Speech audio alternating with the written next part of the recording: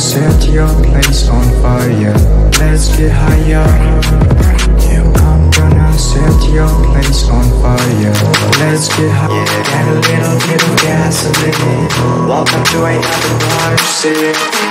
I'ma make it burn. What's going on YouTube? We're in the shop uh, doing some changing, doing some uh, rearranging. Uh, we put a heater unit in that we got to get the electrician back over to get it going right. Uh, we had to move a bunch of stuff around. I'll let you see all that. There's the new heater unit that we put in. That there's a, a diesel furnace oil heater. It took up a lot of space. I had to move a lot of stuff over around to this wall. So it's a mess over here. Uh, eventually all this toolboxes and stuff are going to go in the other room in the office. We're going to clean all that out. Put all the toolboxes and stuff over there.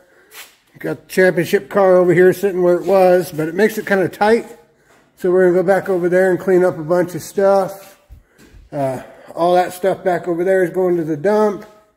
Going to make a bunch more room. But the project we're doing today, as you can tell, it's very dark in here. We've only got one, two, three, four fluorescent uh, LED lights, and they're they don't really do much for lighting. They're only really directional, as you can see on top of the car.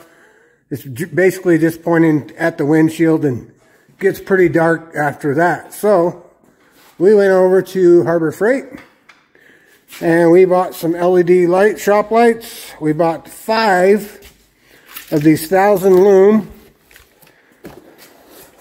sets. Uh, I think those were 49 a piece. So we bought five of those.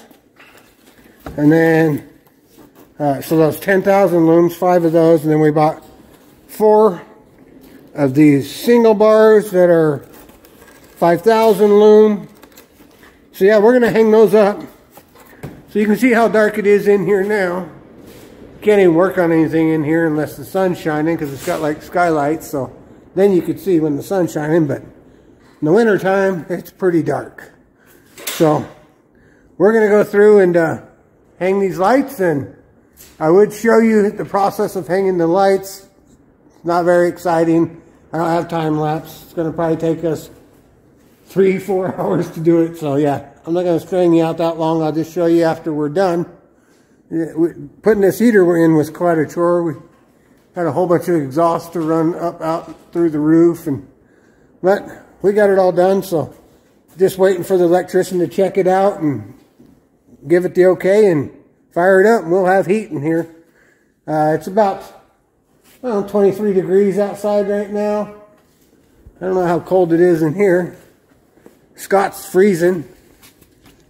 He's, he's taking on his new job as the elf. Uh, looks like about, oh, I can't see it. I think it's 15. No, it's good in here. It's almost 30. Just barely above freezing. All right, guys.